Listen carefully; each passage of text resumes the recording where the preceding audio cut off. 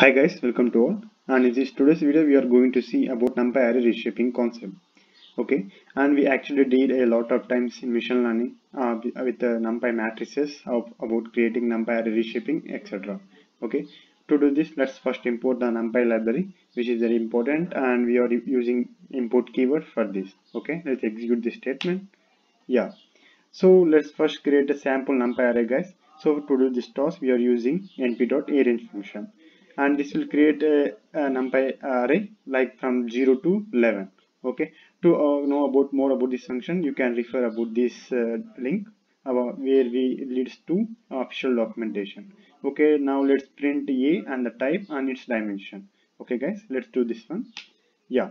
Now it's printing uh, like 0 to 11 okay? And it is showing like np like a numpy.nd array and its dimension is 1 so for the task one, let's uh, create this one dimensional into the two dimensional array. So now let's convert this. Yeah.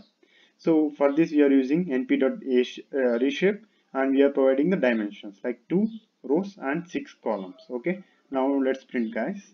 Yeah.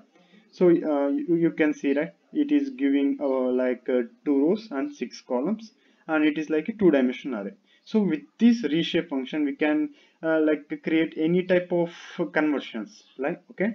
Now let's do like reverse right? So we have like two dimensional array right? Now uh, let's convert it into one dimensional array. So in the same as above we are using np.array to create the uh, numpy array and let's check the dimension of b okay. You can see right clearly it is showing the two dimension. And let's use the reshape function as used like previously. And let us convert it into uh, 1D array like providing 9 okay? 9 means 9 elements. Yeah. You you see right? 1 2 3 4 all this converted into one dimension. It is showing one dimension right? Yeah.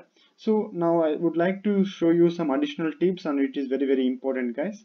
Like this the first tip is always make sure that you provide right dimension. Such that the number of elements are same before and after reshaping okay this is very important point. And the second important point is if you don't know the exact dimension for conversion use minus one so that numpy will figure it out the correct dimension.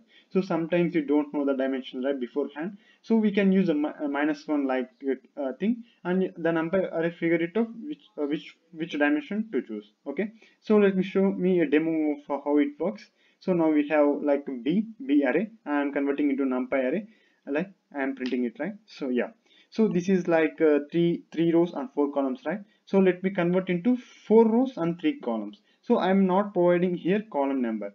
But uh, if i print uh, if i use like minus one the numpy package only determines the exact dimension to choose here. Okay? You see right? The exact conversion is taken place by using minus one. Okay? So by this you have learned about one of the key concept in numpy like reshaping which is very very useful. Okay? Thank you guys